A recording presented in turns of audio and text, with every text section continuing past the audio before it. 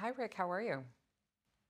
Well, good morning, or should I say good afternoon there in Barcelona from uh, Mobile World Congress and joined by Catherine Borda de Castro from Cox Communications. And uh, Catherine, how's the uh, the show been going? How's the vibe over in Barcelona? It is amazing. It is quite uh, electric. Uh, there is um, so much going on. Um, you know, it's it's there. It's it's pretty amazing, kind of the trends that we're seeing. So, uh, super excited to be here. Yeah, hundred thousand attendees and uh, things getting back to normal, and uh, some of the big trends. We'll touch on them, Catherine. Uh, connectivity and convergence.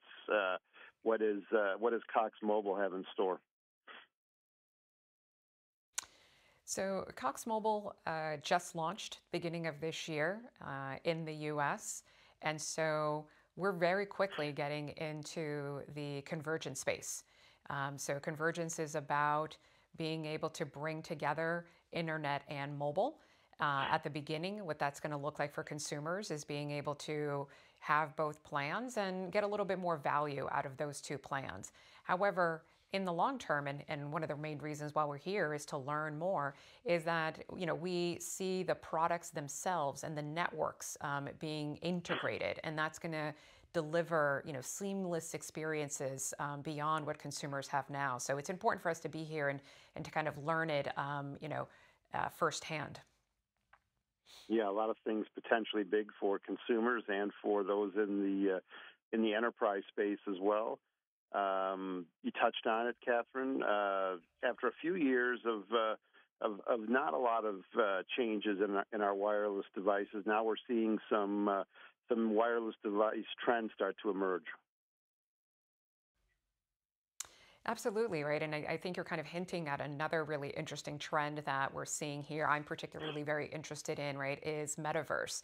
And um, we're seeing, you know, a lot of innovation in the types of kind of goggles uh, or glasses that are used so that you can experience the metaverse and um, so those are all wireless devices, right? Not a phone, but still a wireless device. And the implications for what it's going to do for consumers' lives is just, you know, I think absolutely, you know, fantastic, right? A consumer being able to, you know, shop in a very immersive way, or, um, you know, maybe not hang on the phone for a care call, right? But be able to experience um, some, you know, an assistant being close by, right? So it all sounds very futuristic, but it, the future is much closer, right, than uh, than previously imagined. So again, we're just kind of getting to learn all of that. Uh, you know, firsthand. So super important for us to be able to bring that experience um, and that innovation to our consumers.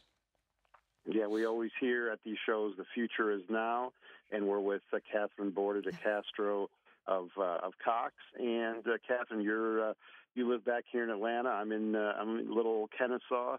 We've had good 5G here for a while, but uh, as Atlantans and, and those in the southeast travel, um, sometimes uh, getting good, great wireless service has been a challenge. And uh, but you guys have been up to that challenge.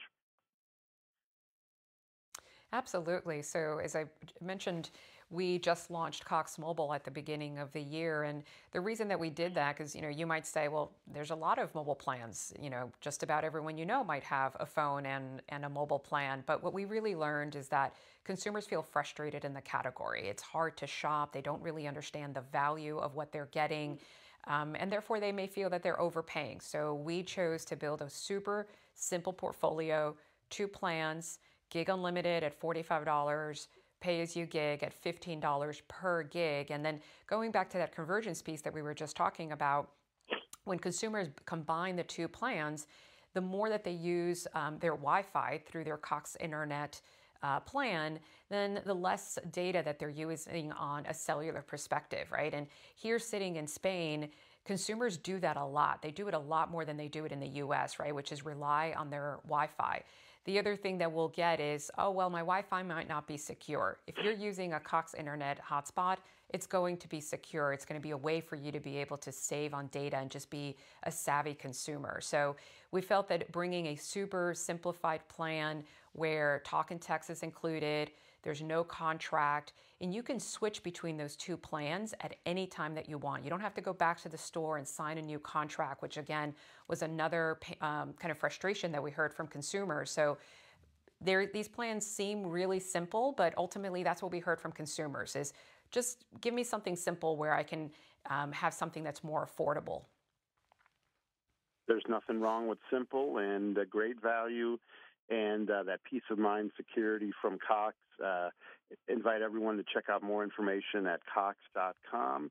And uh, Catherine, uh, uh, any anywhere else uh, people should go for more information, or what's the one the one bit of advice that you want customers to take from your experience there at the show? Yeah, well, um, Cox.com backward slash mobile is where they can find more information about our plans, our network, which we have an incredibly reliable network. Um, and our services. And, you know, the one piece of advice that I would give to consumers is that just the way that you're savvy in other uh, categories in your life, you know, check out your your check out your bill. You know, how much are you really using? Do you really need as much as you think, right? Because that was something that we really learned for consumers. I I would um, I would bet that there are many of our consumers that could probably save a little bit more by using Cox Mobile. So that would kind of be my last bit of advice for them. That's great advice, and the Cox bill is easy to read. And uh, Catherine, safe travel, and we'll see you back in Atlanta. Thank you so much for having me. It's been a pleasure.